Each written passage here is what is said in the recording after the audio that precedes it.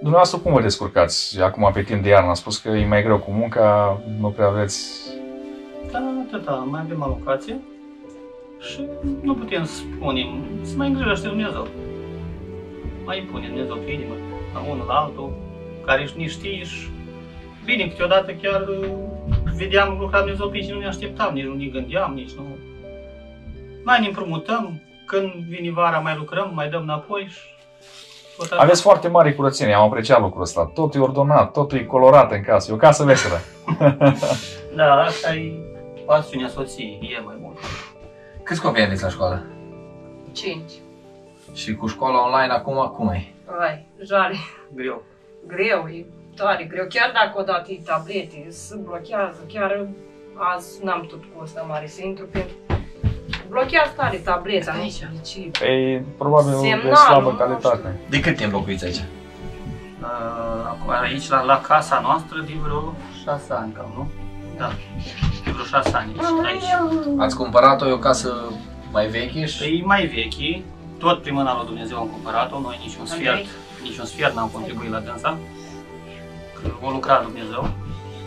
Și, da, e casă mai veche, a fost bătrânească. Am mai renovat noi puțin, mai sunt multe de făcut la ea, dar... Da, ținem animale, obișnuim să ținem păsări, porci, asta le aveam acasă. Vacă aveam și vacă, dar unde va peste drum aici, are și socru animale și el vacile lui, animalele lui. Și acolo țineam uh, vaca peste drum, că acasă aici e strâmt la noi, nu avem posibilitate, n-ai condiții ca să o ții. Și țineam pentru casă, pentru copii, pentru chiar mai aveam o leacă o sursă de venit, mai creșteam o vițel, mai vindeam, uh, mai lapte mai vindeam.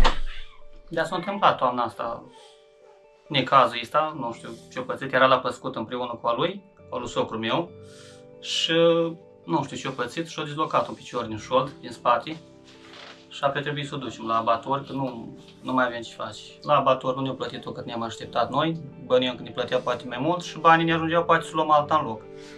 Dar a fost prețul mult mai mic decât ne așteptam și... fiind- Când s-a întâmplat asta? Uh, Chiar în decembrie, la începutul lui decembrie. Sfârșitul noiembrie, începutul lui decembrie, pe acolo. O lună și un pic. Da, cam sfârșitul noiembrie, ceva de genul.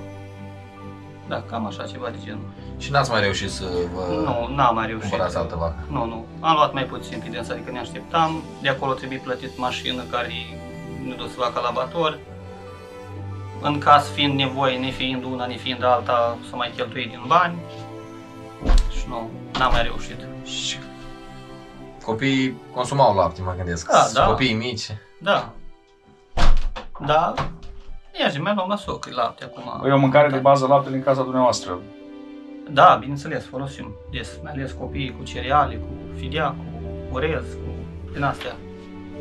Brânzică, cu adepți prăjituri. Acum tot din ce aveți tot. lapte. Acum luăm de la socri. Luăm de la dânsi, că nu, bine, nu cu bani, ni dă așa, dar nu era bun când era a noastră, puteai să faci ce vrei. Adică ce vrei. Aveai laptele tău, mai câștigai un bănuț, când în când, Fiind așa, mai avea- aveai un vițel, da, chiar aveam un abonat și mai vedeam și, mai vedeam și lapte. Cu cât vindeați litru de lapte? Uh, 3 lei, 4 lei, nu, 3, 3 lei, 4 lei, cam așa au fost ultima oară. Un litru? Un litru. un litru, da. Așa asta probabil că vă ajuta să Da, mai cumpărați câte ceva. nu era mult, el nu vedeam noi chiar mult, undeva de vreo 100 de lei acolo, 100 și ceva de lei, să zic, pe lună, dar vineau, când vine un în casă grămadă, totuși făceai ceva cu dânsul. Că... Și așa, laptele nu puteai să-l consumi chiar pe tot. Nu-l consumai chiar tot, că... Câți litri de lapte dădea vaca care ați avut-o? Am avut o vacă mai nouă coste chiar de rasă, dar în jur de 5 litri la mursoare aveam asigurat.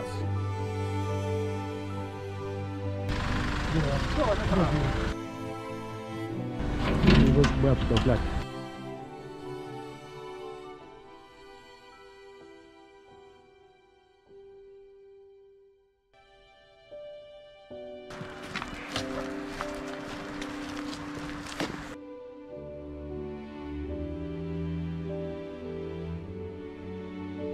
Ne bucurăm că prin ajutorul lui Dumnezeu am putut să facem uh, acest bine pentru familia voastră.